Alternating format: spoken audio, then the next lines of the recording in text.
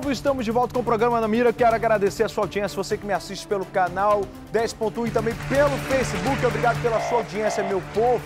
Tem uma informação agora para você, minha gente. Sabe que domingo aí foi o dia de comemoração do Dia das Mães, né? Eu, por exemplo, estava com minha mãe, aproveitei para fazer um churrasco, mas teve gente aí que não aproveitou, que quase foi o churrasco, minha gente. Foi um adolescente de 16 anos que nesse último feriado foi baleado com sete tiros. E quem vai contar essa história é a mãe de multidões, Meixa Piama, na tela do Namira. Domingo, dia das mães, várias comemorações, muitos almoços em várias casas, principalmente em uma residência lá na rua 105, no conjunto Cidadão 6, no bairro Nova Cidade, zona norte de Manaus. Um adolescente de 16 anos estava dentro dessa residência e assando churrasco. Em comemoração ao Dia das Mães, eles iam fazer um almoço em família para aguardar a mãe chegar para homenageá-la. Só que em um determinado momento, esse adolescente de 16 anos que estava assando churrasco saiu da residência para mexer no celular em frente à casa dele, lá na rua 105. No momento em que ele chegou na frente da casa dele, começou a mexer no celular, ele foi surpreendido por um homem até então desconhecido, não identificado, que disparou sete tiros contra o adolescente que atingiram o tórax da vítima. Segundo os familiares, no momento em que tudo aconteceu, eles não viram, porque ele saiu, fechou o portão e a família achava que era foguetes que estava acontecendo devido ao Dia das Mães. Só que depois que o adolescente foi baleado, ele começou a pedir socorro, batendo no portão. Foi quando os familiares saíram e viram o que tinha acontecido.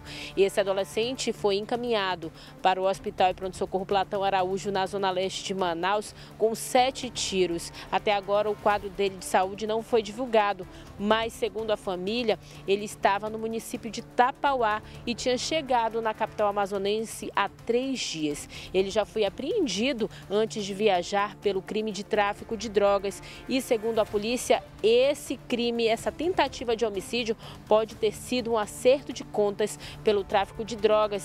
O jovem teria saído aqui da capital para o município de Tapauá justamente para se afastar de algumas amizades erradas. Por conta disso, a família acredita que esse seria o motivo. O jovem estava há três dias na capital à procura de emprego, está com a namorada de 18 anos grávida de quatro meses e agora não se sabe o quadro de saúde dele, mas ele estaria esperando por uma cirurgia no hospital da Zona Leste da capital. Eu volto com você aí no estúdio. Obrigado aí, Meixapiama. Olha só, minha gente. A família poderia não conhecer, mas a vítima desses tiros já conhecia bem. É porque já estava fugido, né? já tinha ido para Tapauá justamente para que não fosse morto aqui na capital. É isso que a gente alerta todas as vezes aqui no programa Na Mira, a você jovem, 15, 16, 17, 18 anos, que quer entrar para essa vida. Só tem dois fins, meu amigo. Quando não é o cemitério, você vai apreendido, né? Porque não pode ser preso.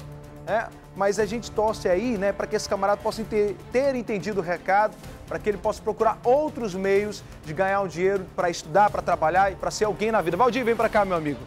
O programa está encerrando, 10, 5, 9, um minuto aí. E aí? 10, 5, 9, um minuto? 10, ah, a Márcia passou 10 minutos para nós. Então eu quero dizer o seguinte, quero dizer o seguinte, realmente, você teve outra oportunidade, meu amigo.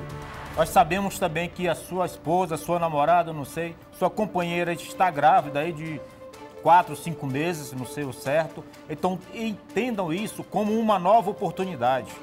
Se tiver que você se recuperar, voltar para o seu lar, pratique o bem, vá trabalhar, vá fazer algo que realmente, que realmente dê, é, é, é, a sua, dê orgulho à sua família, à sua mãe, que estava lá chegando à sua residência, encontrou, teve uma notícia péssima lá que você teria sido socorrido, levando simplesmente sete tiros aí no, no peito. Então, antes de encerrar, Luiz, quero dizer o seguinte: quero mandar um abraço para as musas do CTA, tá? CTA, a Jennifer e a Rai, lá, as duas belíssimas. Beijos, minha querida. Tá ok, então olha só, minha gente, fique tranquilo, não faça nada de errado e ande pela sombra para que você não possa ser o próximo a entrar na mira. Um grande abraço pro pessoal que nos acompanhou pelo Facebook e pelo canal 10.1. Um abraço para todas as mães. Vocês são lindas, maravilhosas, são importantes para cada um dos seus filhos. Eita, quase me babei aqui. Vamos chamar agora a Marcela Asmar, que atrapalhou nossa programação, Valdir. Deixou cair ali a garrafa dela, não sei mais o que era, e veio dizer que era um papel. ela quer chamar atenção mesmo ela sem tu estar no ar. fica concentrado lá no teu serviço que pode desabar o cenário em cima de ti que tu não desconcentra. Mesmo fora do ar, tu quer chamar atenção. Eu faço de propósito, cada vez vocês estão concentrados. É, a casa caiu. Bom trabalho. Pra... Quer falar Beijo, algo? olha, Luiz, Queria falar algo? aí. Oi? Queria falar algo aí? Quero falar pro Luiz se controlar, porque ele tá, voou aqui um pouco, ele fala e fica cuspindo Hã? e tá voando aqui no cenário. Nossa, 11 horas e um minuto. Tchau, gente. Até amanhã.